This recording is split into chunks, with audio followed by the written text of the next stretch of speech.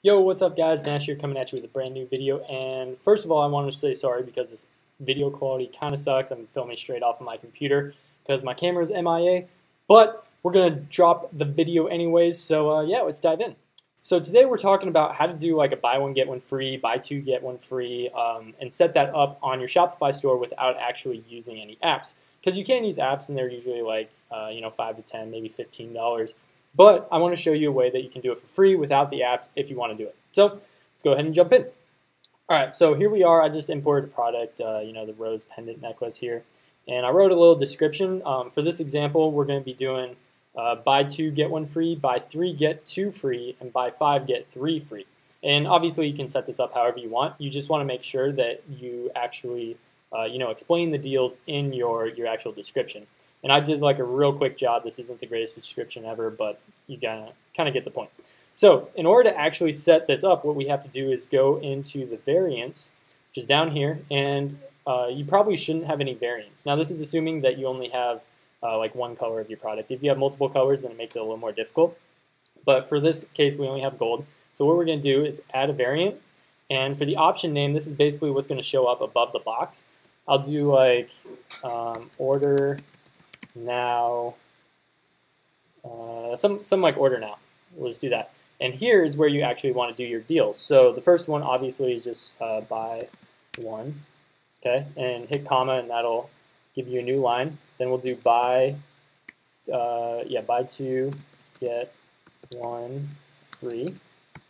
Then we'll do buy three, get uh, get two free.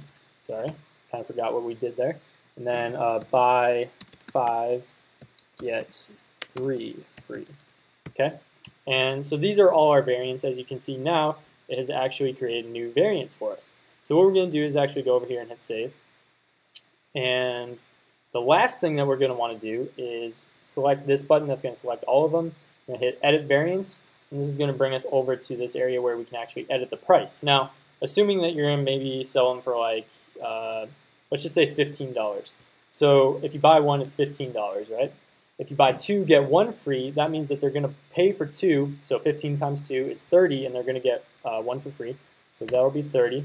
Uh, buy three, get two free, so they're going to buy three. So 3 times 15 is 45. And then buy five, get three free, and 5 times 15 is 60, is it 75, I think?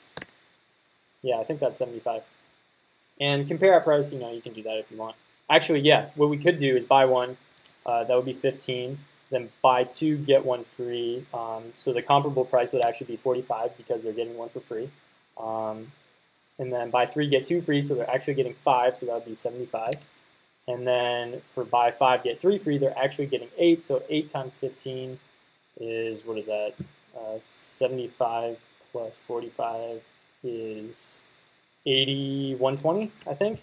Not great at math on the spot, but hopefully you get the point here. We're going to go ahead and hit save, go back, and last thing we want to do is just check it out. So I'm going to hit view, and there you go. Uh, buy one, get for $15. Buy two, get one free. Should be 45, now it's 30. Buy three, 45. Buy five, get three free. Now, the only downside to this that I can see is that you you um, you know you kind of have to do it manually. You can't necessarily use you can use Oberlo, but you're going to have to order the products uh, sort of manually.